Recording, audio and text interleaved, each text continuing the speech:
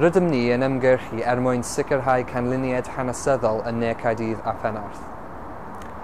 Rwy'n byw yng Nghaerdydd, mi ges i fy eni yma, ac mae'n anrhydedd i mi fod yn ymgeisydd Plaid Cymru yn fy ardal i.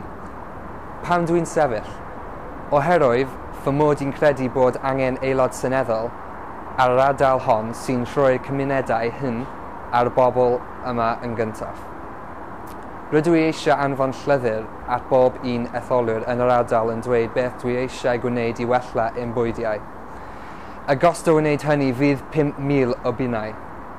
Dwi hefyd eisiau fonio yr etholwyr er mwyn clywed beth sy'n bwysig iddyn nhw. Cost hynny yw 4,000 o bunnau.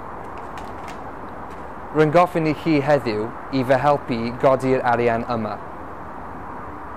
Mi all pob ceiniog wneud gwahaniaeth. Er mwyn cyffrannu, ewch i wefan Plaid Cymru a chlychwch ar rhoi ac os ydych chi'n gallu rhoi o'ch amser i helpu'r ymgyrch, e-bostiwch post at plaidcymru.org. Diolch yn fawr.